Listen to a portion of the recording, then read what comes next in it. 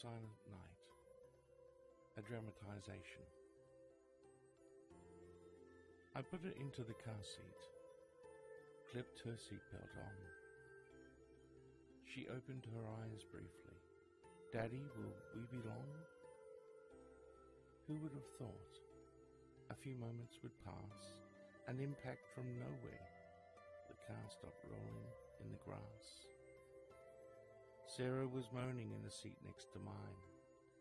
To the best of my knowledge, she appeared fine. I turned to the back seat. It was so quiet back there. Oh God. I could see Karen's body hanging from the chair. The radio was playing Silent Night. I could only stare at her face, my precious little angel held there in space. The drunk that hit us had a small cut on his head. The paramedic said he threw up when he learnt our daughter was dead. He was arrested for drunk driving and released on parole after just one year, while we were handed life sentences at a cost so very dear. We didn't talk much. What was there to say?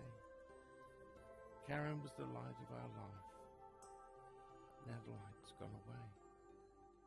Our marriage, it was over. It barely lasted another year. Now Sarah's overdosed on painkillers. Diagnosed with manic depression, I hear.